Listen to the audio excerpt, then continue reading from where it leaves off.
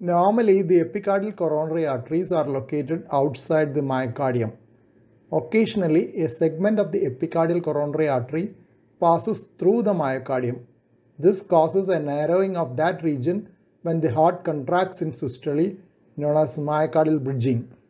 Myocardial bridging can be recognized as narrowing of a region of the coronary artery in systole, which normalizes in diastole.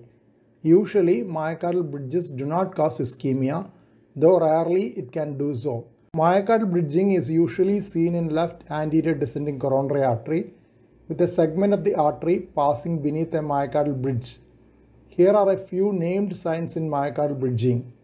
1. Milking effect is noted on coronary angiography indicating the systolic compression and diastolic relief of compression. 2. Step down step up phenomenon can be seen both on coronary angiography still pictures and coronary CT angiography due to the effect of myocardial bridge on the coronary lumen. 3. Half moon phenomenon is noted on intravascular ultrasound. It can occur even without the milking effect. The milking effect can be provoked in these cases. 4. Fingertip phenomenon and spike and dome pattern are descriptions for intracoronary Doppler flow patterns in myocardial bridging.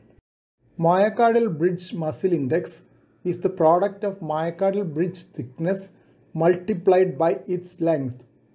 In that autopsy study, myocardial infarction was more likely in those with a thicker bridge and higher myocardial bridge muscle index. Progression of atherosclerosis was maximum at 2 cm proximal to the entrance of the myocardial bridge in the left anterior descending coronary artery. Schwarz and colleagues have classified myocardial bridging without associated coronary artery disease into three types. Type A is an incidental finding on angiography without objective signs of ischemia. Type B had objective signs of ischemia. Type C with or without objective signs of ischemia but with altered intracoronary hemodynamics as assessed by quantitative coronary angiography, coronary flow reserve or intracoronary Doppler.